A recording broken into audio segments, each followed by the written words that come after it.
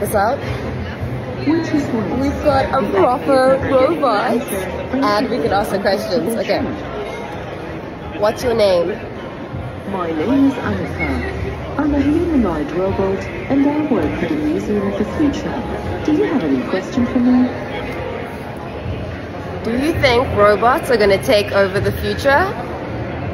AI and robots are likely to radically transform jobs in the next decades. Instead of eliminating jobs, humans will collaborate with robots and they will learn new skills like coding and cloud computing.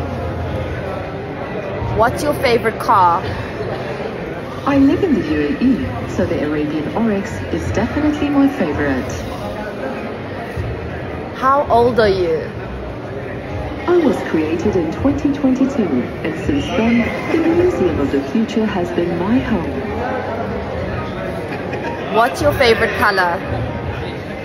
Since I am made mostly of metal, silver is my favorite color. I also like blue as it is the color of my eyes.